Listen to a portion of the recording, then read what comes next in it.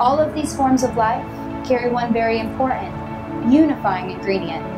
This ingredient is DNA. Here is the structure of DNA.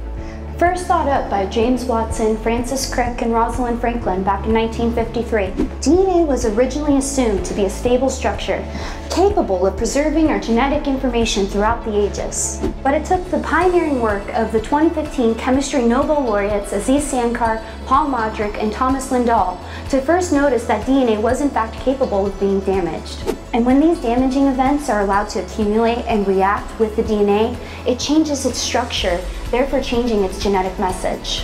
Even more important than the discovery that DNA could be damaged was the discovery that cells had a way to fix it, and thus was the birth of a new field in science, the field known as DNA repair.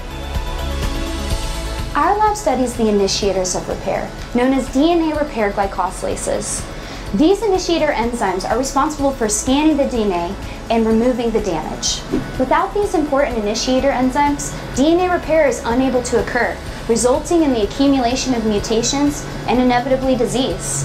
Today I'm going to show you an experiment that allows us to determine how well a DNA repair glycosylase is able to initiate repair by performing our in vitro glycosylase assay. First, let's set up the gel.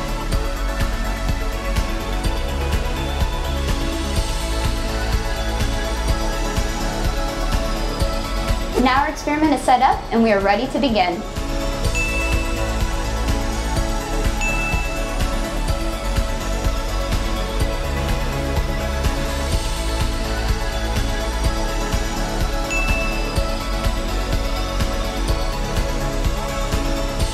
Our bands are separated and now we're ready for overnight image capture.